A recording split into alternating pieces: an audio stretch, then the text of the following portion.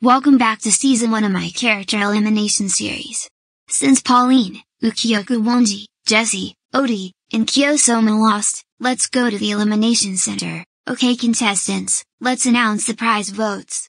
Ukyo Kuonji got 0 votes, Jesse and Kyo Sohma got 1 vote each, Odi got 6 votes, and Pauline wins the prize at 7 votes, she gets a half advantage. Now for the elimination votes. Pauline, Ukyo Kuonji, and Odi got 0 votes, Jesse is safe, even at 7 votes, but his votes are cut to half, which means Kyo Sohma is eliminated at 8 votes. Well, I may be eliminated, and all of the Fruit Basket fans are gonna be sad when they see this, but at least I made it to the final 10, and I had fun this season. Goodbye everyone, and I'll see you guys at the finale.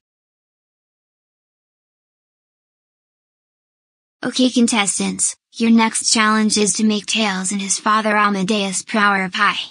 I will split you into groups of 3. Whichever group that makes the best pie win the challenge. Three, two, one, go.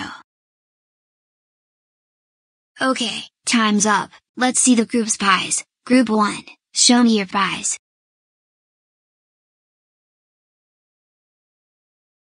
Pretty good, Group 2, it's your turn.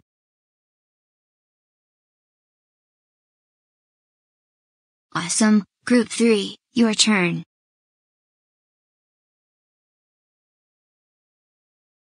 That one is also great, so which pie do you prefer best? They're all pretty good, but we decided that we like Group 2's pie the best.